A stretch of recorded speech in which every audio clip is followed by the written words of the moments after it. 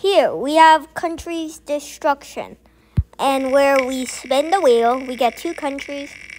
You get a yes or no wheel. Should Czechia get Sudan, for example? If it's a yes, then Czechia gets Sudan.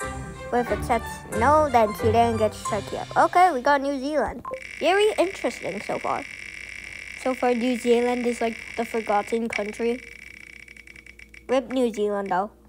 It's not even in the Oceania. New Zealand and France. That's that's very that's very different. Yes or no? Let's see. Should we get a, a yes? Should New Zealand get France? Yes or no? That's a yes.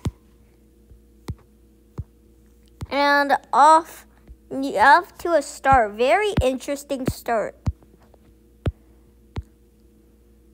New Zealand. Oh my god.